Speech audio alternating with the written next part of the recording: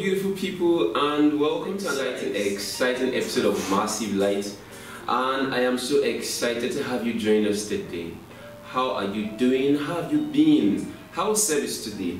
And I hope you're actually doing well. It is my desire that you're actually very, very fine. So it's another um, time for us to consider stories from the book of Daniel. And we've actually had two episodes, and this is our third one. And I hope you'll be following us on this journey. If today is your first time, I would love for you to go back quickly to see the videos that we have actually done from two weeks ago. We started the first um, video we actually we, we, we shot.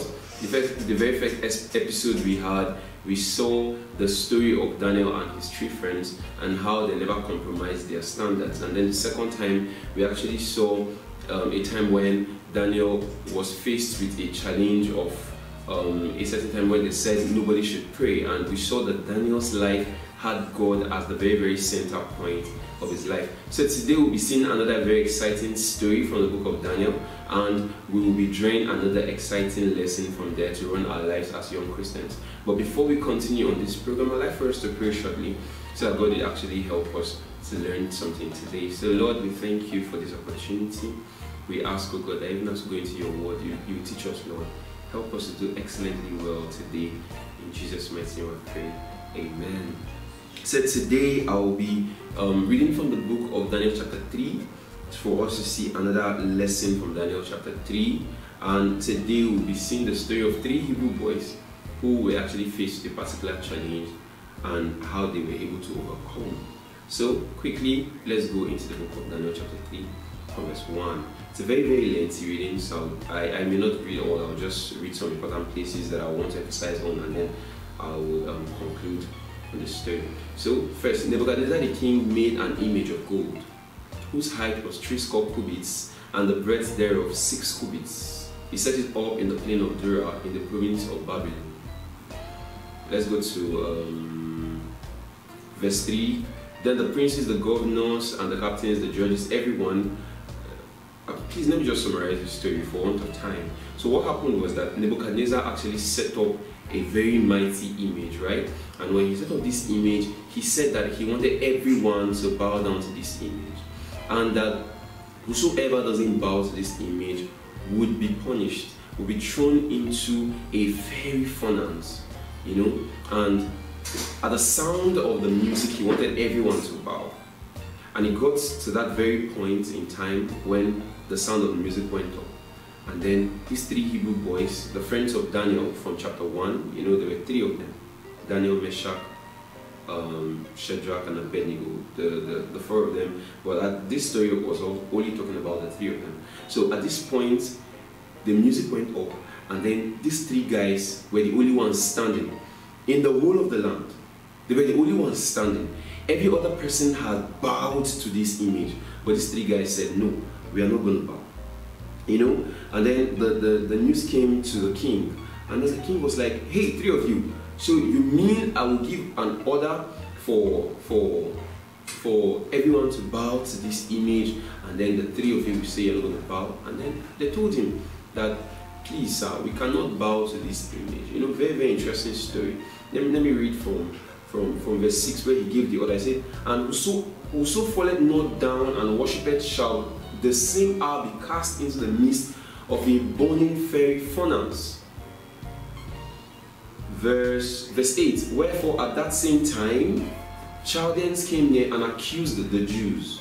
The speaker said to the king, Nebuchadnezzar, live forever. Thou, O king, hast made a decree that every man that shall hear the sound of the music shall fall down and worship the golden image. Verse 12 says, There are certain Jews. There are certain Jews. Now, I would love to read the whole of this story before I begin to draw my lessons, but because of time, I would like to begin to draw my lessons from this point. Now, take note of the word certain. The Bible says certain Jews. It means that there were other Jews there. There were other people who were Christians in quotes. There were other people who were church goers. There were other people who had the form of godliness. However, they all bowed. But certain Jews amongst them distinguished themselves. And that was why this news was coming to the king. They said there are certain Jews whom thou hast set over the affairs of the province of Babylon, Shadrach, Meshach, and Abednego, these men, O king, have not regarded thee. They serve not thy gods, nor worship the golden image which thou hast set. And then, you know, it continued like that. And at a certain point, the king called for these guys. He said, I'm going to give you one more chance. I'm going to give you one more chance. If you don't bow to this image, I'm going to throw you into the fire. And then he goes to verse 16. Bible says, Shadrach, Meshach, and Abednego answered and said to the king, Oh Nebuchadnezzar, we are not careful to answer thee in this matter. My topic today says, No fear in the face of adversity. No fear in the face of adversity. This guy stole the king. I need you to, to, to, to understand who Nebuchadnezzar was. Nebuchadnezzar was a mighty king. He ruled over so many lands as at that time. There were several provinces over his command. He had the power to do and undo. But these guys, three of them, where they were mighty men, soldiers, and great men all over the provinces. And then three young men said to the king, O king, we are not careful. We know they fear you. For this matter, we know we know send anything you want to do. He said, O king, we are not careful to answer thee in this matter. If it be so, our God, whom we serve, is able to deliver us from the burning fiery furnace, and he will deliver us out of thine hand. But if not, be it known unto thee, O king, that will not serve thy gods, nor worship the golden image which thou hast set up. So they got to this point where they said, We will not, no matter what, if God delivers us, mm-hmm. if He doesn't deliver us, mm-hmm. but we shall not bow down to this golden image. Quickly, let me just um, say something about we in our present time as Christians. There's something that we usually do. Be like, eh, I will bow down, but inside my heart, I'm still worshiping God. Eh, it should be just God. God is after the heart. We find ourselves in certain places where we are forced to compromise our faith, and because of fear and and we because we don't want to suffer for the name of God, we, we give in to some of those challenges. We give in to some of those those those things that stand before us as as adversity. We say, eh, I will just join people. Let me just bow. I will just bow. But inside my heart, I'm still a Christian. But we are seeing here in this story where certain young men actually stood for God in the face of adversity. They didn't fear. They didn't, they didn't, they didn't think that, oh, my mortal body is going to suffer. Oh, what is going to happen to me if, if, if God doesn't deliver me from this thing? Some people say, ah, eh, God, God may or may not, even let wisdom be profitable to the We begin to quote certain scriptures to, to, to, to support our compromise. But we can actually see from this story three young men who refused to, to, to give into fear even in the face of adversity. And as young Christians standing today in Nigeria, standing today in Ghana, standing today in India, wherever you're watching me from today, what could be the adversity standing before you? This is the story I'm trying to bring out from the book of Daniel today, in Daniel chapter 3, where these guys refused to give into the fear of the adversity. And then as the story continued, the Bible says that these guys were actually thrown into the fire. You know, when they had told the king that we're not careful in this matter, the king said, Okay, sound the music again. Let me see whether these boys are not afraid of me. And then the music was sounded again, and still these guys refused. They didn't bow. They were not afraid to lose their lives, even unto death, even unto death, even unto suffering and pain and whatsoever that was going to come their way, whatsoever it was that the king had said. They said, O king, we're not careful to answer in this matter. And because of that, the king ordered that these boys should be thrown into the fire and immediately they were bundled and they were thrown to the fire. The Bible even, even, even, even says that the guys who threw them into the fire died because of how urgent the king's instruction was, and then the heat from the fire burns them and they died. But these three young men that were thrown into the fire, they didn't die. The Bible says God showed up for them. Because they were three that were thrown into the fire, but shortly after, everyone could see that it became four. The king said, Oh, it looks like the, the son of the gods has appeared to them. It was obvious to them that God was with them. God had come to, to be with these guys in, the, in their suffering, in their pain. So, oh child of God, what is it that you could be facing right now? I need to understand that whatever it is you're facing, once you don't give into the fear of your adversity, God is going to come through for you. He's going to be with you.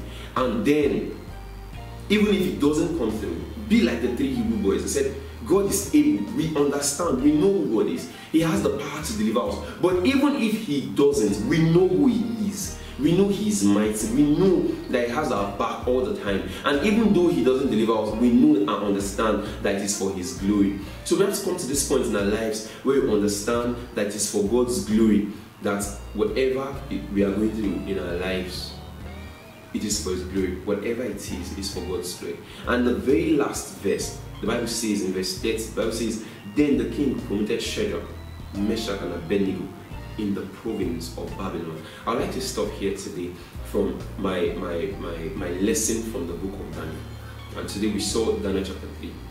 The very last verse of Daniel chapter 3, verse that's in Daniel 30, the very last verse here in Daniel 3, which is verse 30, says that these guys were promoted in the province of Babylon. Remember that when the Chaldeans came to report them and they said that they are setting of the Jews, they had also noted that they were they were actually rulers. They had placed them in positions of rulership. So these guys were actually leaders already. But because they stood firm even in the face of adversity, even when there was fear, the Bible says that they were promoted. So as young Christians, as young people who who who want to stand for God, let's remember that God is going to show for us, and besides showing up for us, He's going to cause that we receive our promotions wherever it is that we have stood in for Him. So I want to actually trust God and believe God that you have been blessed today and that in whatever whatever it is that is standing as an adversity in your life, you would actually stand, you will not give in to fear, you will face it, understanding that God is going to come through for you, understanding that there is a promotion even after that level in your life in the name of Jesus. Let's pray. Father, we thank you. You all the glory, give you the honor. Thank you for how you have helped us today to actually see another very important lesson from the book of Daniel. Thank you because you are going to help us. You will give us courage. The way you told uh, Joshua, you told Joshua that he should be courageous. He should not give in to fear. We ask, oh God, that you help us to be courageous people. Help us that even in these trying times, even these end times, where there are a whole lot of people giving into wrong things, Lord, you help us to give into the right things. In Jesus' mighty name we have prayed. We also pray for anyone passing through any challenge, whether it be sickness, whatever it is, we ask, oh God, that your peace will be breath upon that situation right now. In Jesus' mighty name we have prayed. Amen. Until I come your way same time next week, my name is Tobby Joseph. I'll be excited to hear from you. So please like, comment, and share. Whatever it is that you would like us to have a conversation around, I would be in the comment sections to actually um, give you a response. And if you would like me to actually talk about anything, you could actually also put it up and we'll talk about it. God bless you so much. Till I see you same time next week. Bye bye. God bless you.